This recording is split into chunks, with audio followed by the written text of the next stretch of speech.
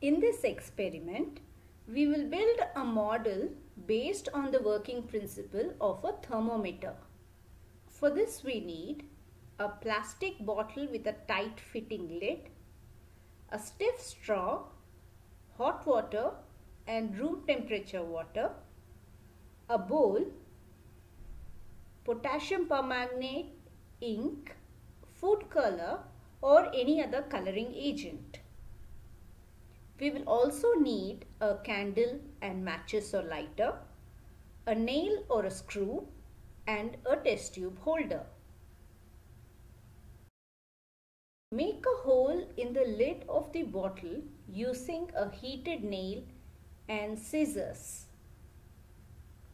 Insert the stiff straw through the hole. Ensure it fits snugly. If the hole is too big, make it airtight by sealing it with hot wax or hot glue. Add potassium permanganate or any coloring agent to the bottle and fill it about one third full with room temperature water and mix it well. Close the lid tightly and ensure the tip of the straw is immersed in the colored water inside the bottle. Now pour hot water into the bowl and place the bottle in it. Soon you will see the water is rising through the straw.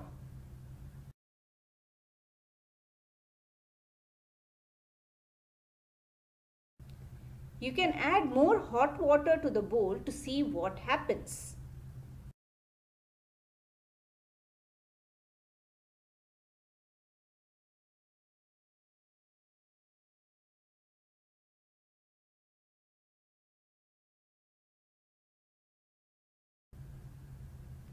Remove the bottle from the bowl of hot water and set it aside.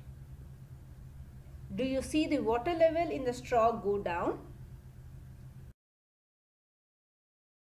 When you place the bottle set up in the hot water, the heat from the water gets transferred to the air inside the bottle.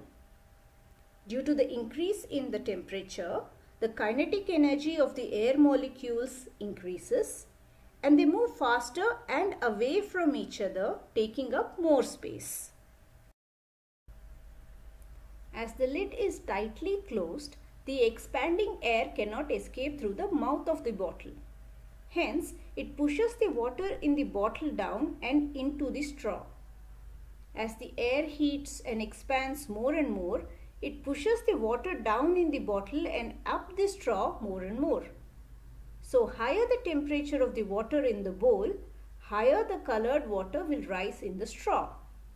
The design of a thermometer is based on this principle. Inside a thermometer, there is a bulb containing mercury. As the temperature outside the thermometer increases, the mercury in the thermometer bulb expands, rising up a calibrated tube similar to the straw in this experiment.